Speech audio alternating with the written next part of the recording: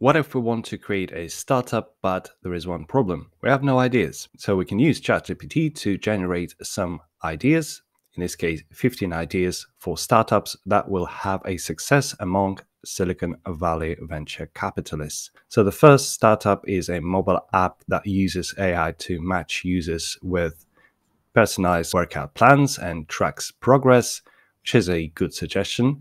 We also have a um, social media platform that specializes or utilizes blockchain technology to ensure users' data privacy and security, which is a good suggestion as well. And we can ask it to generate more specific startups. For example, if you are into um, not tech, but say agriculture, or we can specify that you know we have a limited budget or whatever or mobile app and it will generate startup ideas according to your prompt which is brilliant